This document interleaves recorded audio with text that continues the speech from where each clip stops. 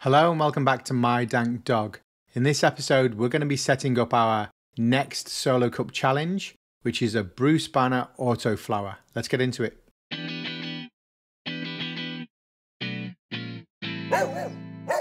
Say hello to my new beans. Bruce Banner Auto Flower, which is a sativa dominant hybrid. It takes about 9 to 10 weeks to flower, and they've been soaking in this distilled water for about a day and a half, maybe 24 to 48 hours. Both of the seeds have started to sprout. I would normally wait for the taproot to get to about half an inch long before potting in the soil, but I'm just going to do it as is.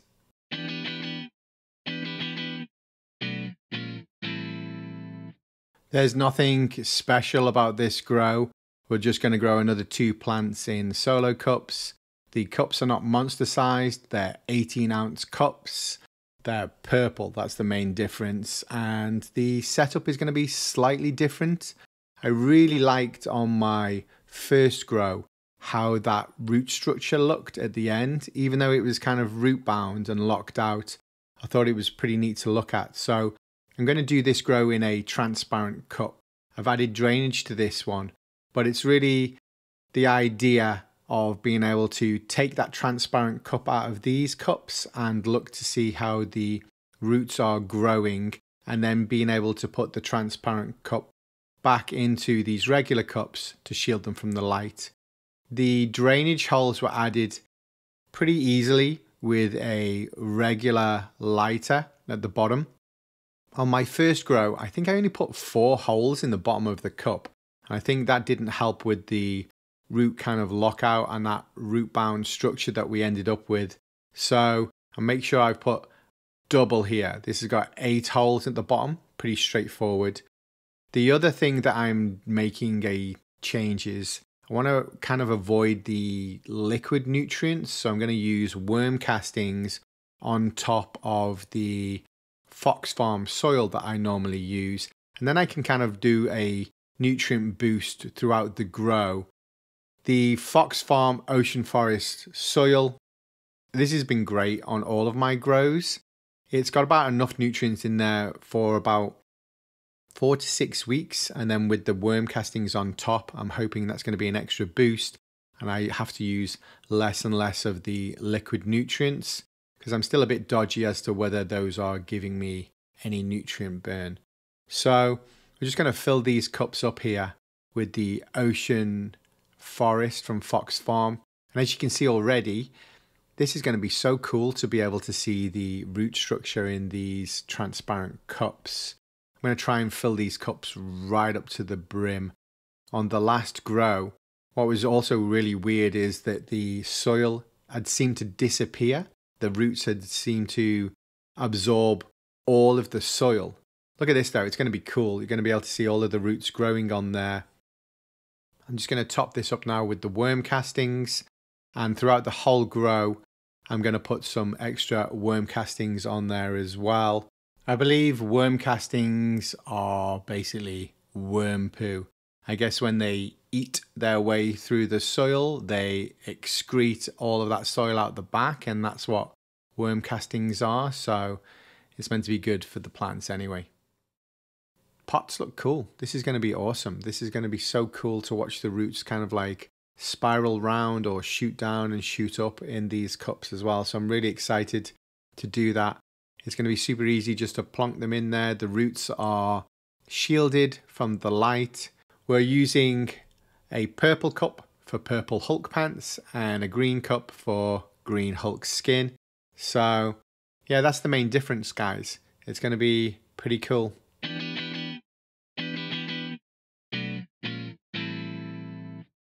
The other thing that I had a problem with on the first grow was just keeping my plant fed. Because the cup was so small, I was having to water it, you know, two, three, four times a day, and it didn't seem to be able to hold on to any of the water or nutrients that I was feeding it. So I looked into a system here that can water the plants automatically. So it's a automatic drip irrigation kind of kit. Never used one of these before. This one can apparently feed like 10 to 12 plants. You have to cut up this tubing and add the stakes which go right to the bottom of the pot to feed the roots. Uh, it's a uh, it's a bit of an experiment, but all the reviews online say it works. You just set the amount and frequency of water.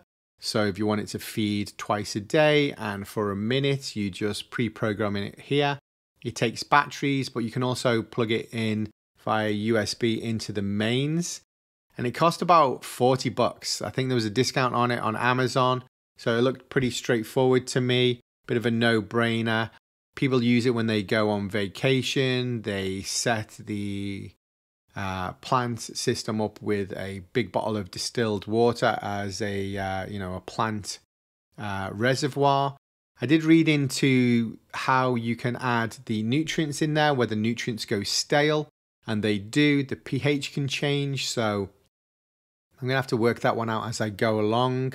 As you can see in here, these are the uh, stakes that go in and, and feed the water right to the bottom of the pot there. So they go straight to the roots. So this is going to help me out, guys, a lot. If I can just keep that root system fed with water and nutrients, that's going to be great. And then I think also what I'll do is do a top feed occasionally just so that those um, worm castings are actually bleeding down to the roots as well. But yeah, interested to see how this goes. I also found this as well it looked cool and I thought it would be good for a, you know, a photo opportunity. It looks like an IV that you would get in a hospital if you were, you know, dehydrated or they needed to put something into your veins, but it's for a plant. Um, I think it's more of a novelty gift when it arrived, but it looks pretty cool. I'm still going to give it a try. Um, it's pretty basic. It's got a stake here that goes into the uh, pot and then it holds this adjustable feeder. So you fill the bag with liquid, you add the um, the drip feeder here and change its um, amount, and then hang this on the metal stake like so. I think it's more of a novelty gift now I've got it. I'm not going to send it back. I'm going to keep it and, you know, test it on something. I don't know. I'm looking at it right now. I don't know what I'm going to do with it. I'm going, definitely going to use the electronic one and give this one a try, or I'm just going to give it to somebody as a gift for Christmas because it's kind of cool. It was 15 bucks. I think you can get a pack of three for 30 bucks if you look hard enough, though.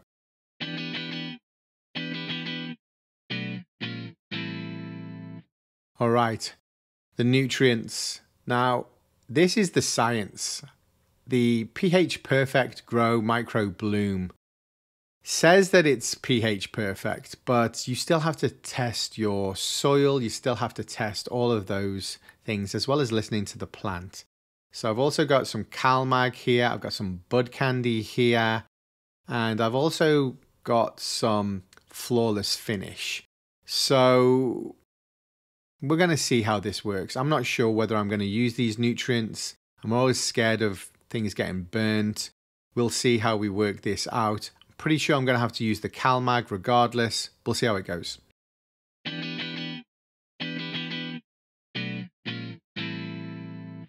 The tent I've got is a 2x2 Mars Hydro tent with a Mars Hydro 4 inch inline fan. I've got a Viparspectra P1000 LED full spectrum light and these ladies are good to go. I'm just going to pop a little hole for about an inch, maybe half an inch hole in the top of this soil here and place our beans in and we should be good to go. As you can see, it's just got a very, very small sprout on here, but I'm confident once I cover these ladies up, they're going to grow. So I'm just going to pop them in these little holes here, their new homes. It's crazy to think what these little beans grow into and it's all kind of pre-programmed into these like little tiny seeds. It's kind of a it's kind of weird, but you can see how easy it is to take these cups out of here. The transparent cups are going to be easy for us to see that root structure growing. I'm really looking forward to doing that and documenting that. And then also the extra cups here, maybe we can put a little extra bit of soil in these bottom cups. I don't know if that's cheating, but I'm probably going to do it if needed anyway. I always put another thermometer in the tent just to check to see if the outside thermostat and the inside thermostat are, you know, in kind of like, um, you know, tandem with each other. I'm not sure whether I'm going to use the bud clips yet. Uh, probably I'm going to do some LST, but I'm not sure. I'm going to play that by ear to see how they grow. Um, but yeah, well, you know, the green wire or the bud clips or combination of the two is pretty standard. We'll see how they grow and I'll play that by ear as well. Or, you know, I may just let them grow freely and just trim some of their leaves. No real plan when it comes to the LST. And then the other thing that I'm definitely going to use is this pH meter just to make sure that the soil and the medium that's going into the soil is not going to kind of affect the plant's grow. It should be between six and seven. So going to take a uh, closer inspection to that, as well as having a pH meter measuring all the nutrients that are going to go in there too. So here's my setup, pretty straightforward. I think all I need to do now is cover these ladies up and give them a a bit of water and make sure that they've got enough to drink. Cover them up and hopefully they're going to grow into a couple of monsters. I'm just going to give them a squirt of some distilled water here.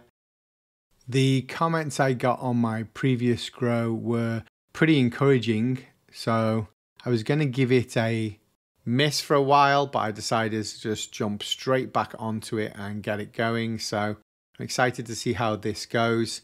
And this one's a little bit more fun as well, especially if we got kind of like this grow off of the uh, two plants next to each other. And then just one more thing here. This is going to be Hulk with his purple pants, and this is going to be the green skinned She Hulk.